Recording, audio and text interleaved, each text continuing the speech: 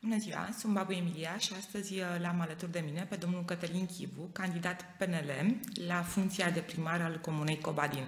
Bună ziua și bine ați venit la noi în studio, domnul uh, Chivu. Bună ziua, vă mulțumesc pentru invitație. Cu dragă. Uh, cunoaștem că din anul 2020 sunteți viceprimarul Comunei Cobadin. Ce v-a determinat să candidați pentru postul de primar acum la alegerile din 2024?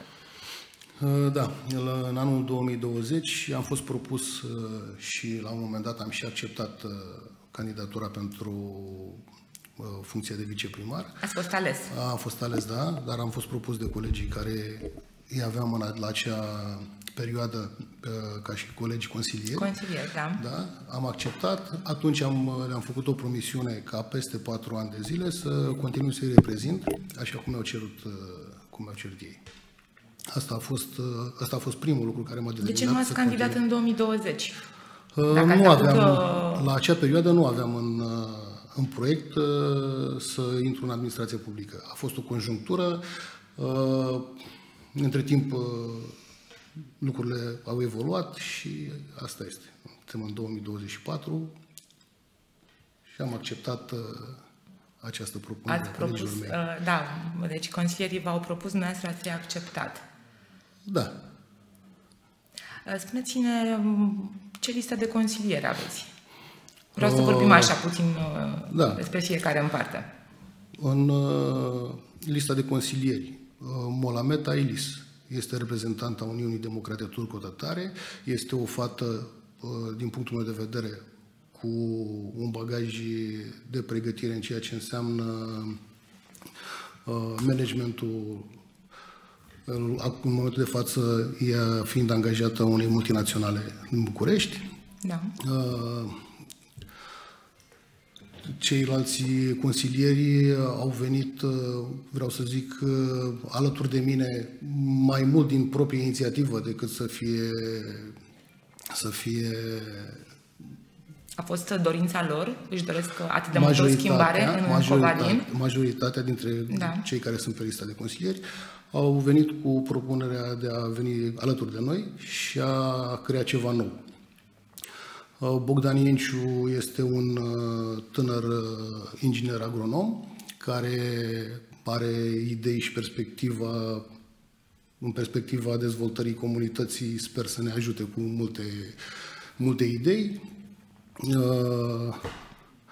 Toți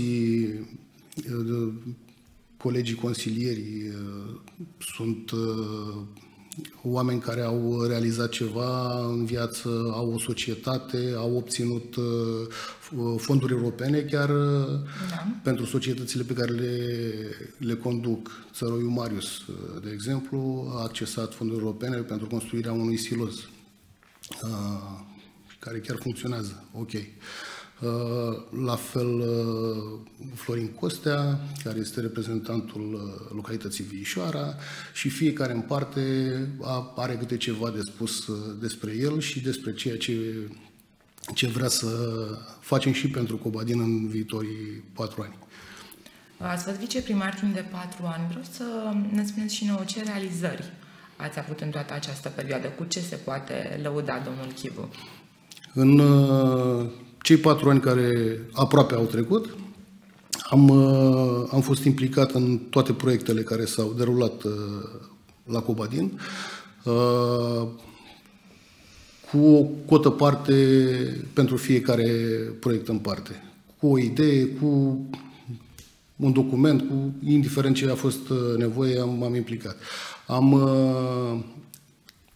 am adus uh, alături de, de echipa din primărie uh, și unii investitori care sper că în viitorul foarte apropiat uh, să demonstreze că vor să rămână la Cubadin și să dezvoltăm uh, comunitatea.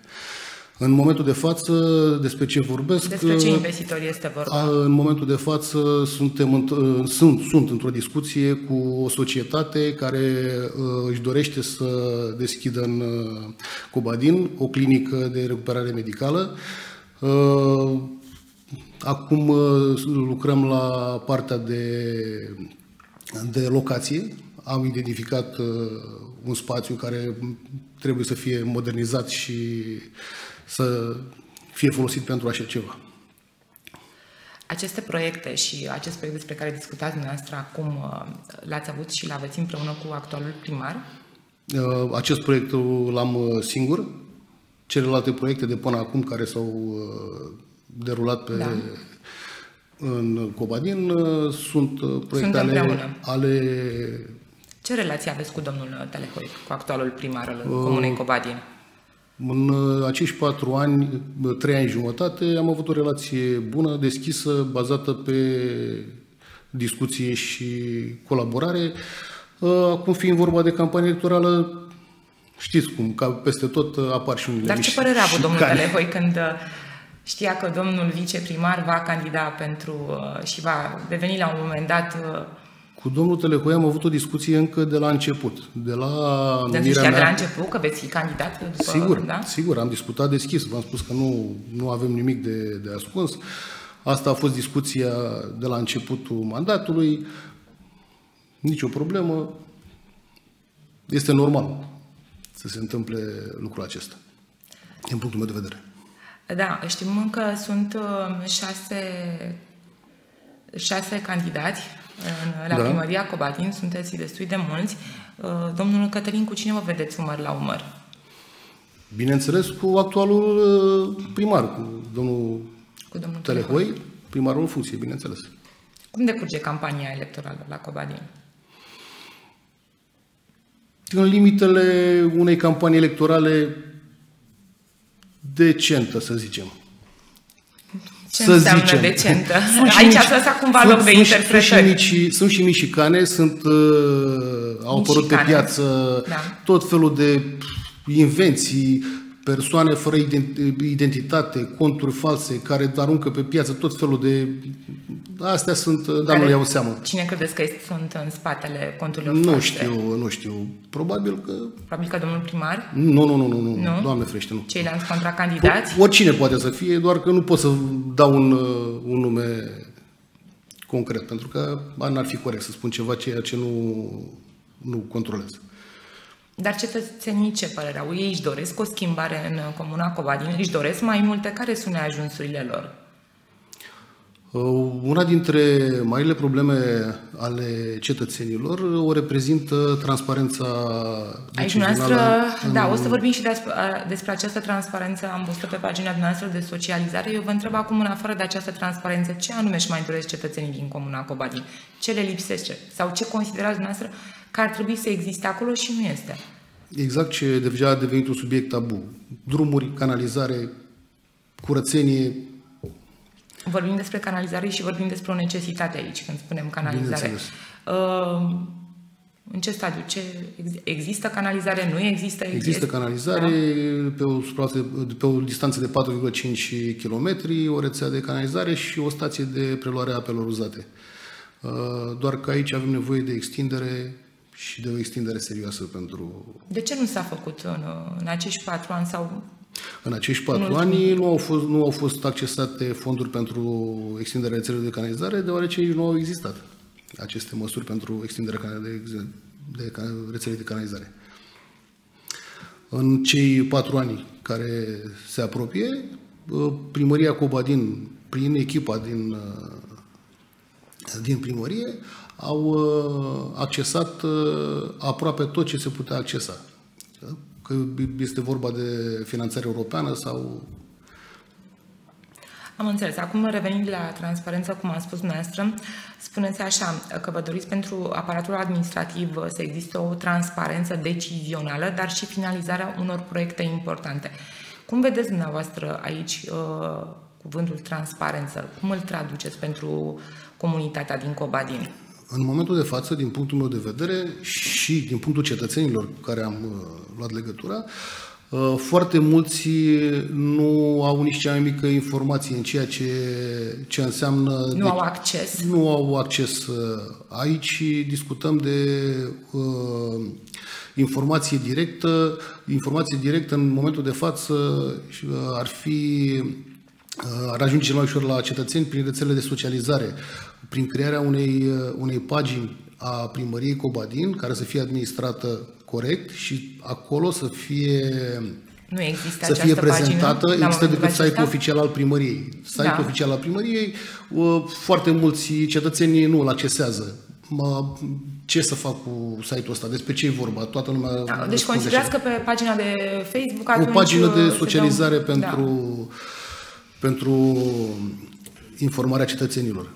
Uh, cetățenii, dacă ar fi informații uh, corect despre ceea ce se întâmplă în administrația locală, probabil că vor veni în număr cât mai mare alături de administrație și vor încerca să sprijine această echipă pentru, pentru dezvoltarea comunității.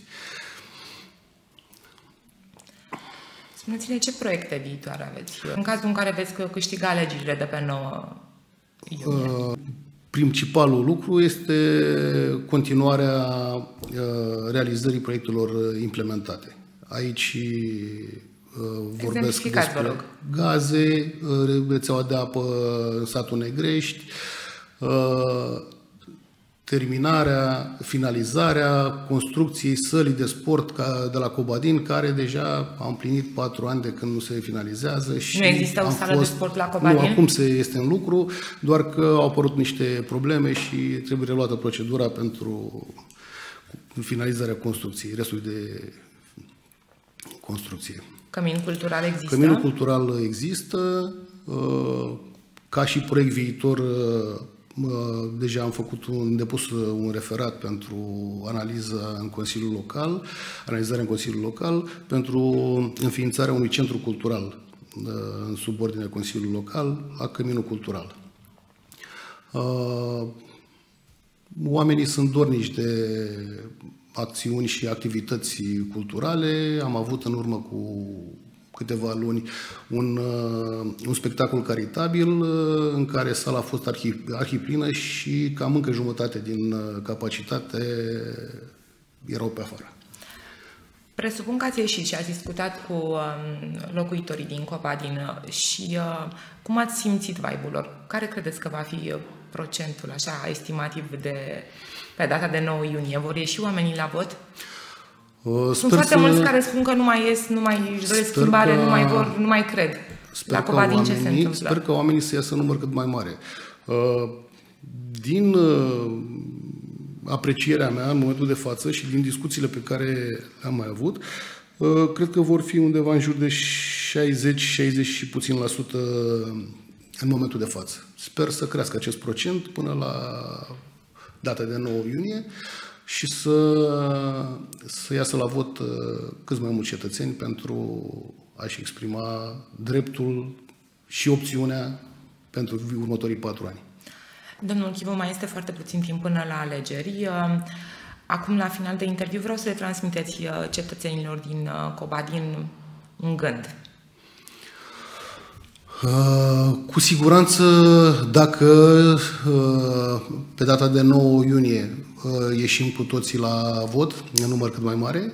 Uh, opțiunea noastră va fi cea finală. Uh, ce pot să le transmit cetățenilor este că voi fi aceeași persoană, nu mă voi schimba absolut deloc, voi fi mereu în mijlocul cetățenilor, voi ține legătura cu ei permanent și voi face tot ceea ce ține de mine și de echipa mea ca această comunitate să ajungă acolo unde este locul. Domnul Chivu, vă doresc mult succes! Vă mulțumesc pentru invitație! Cu drag! O zi bună! La revedere!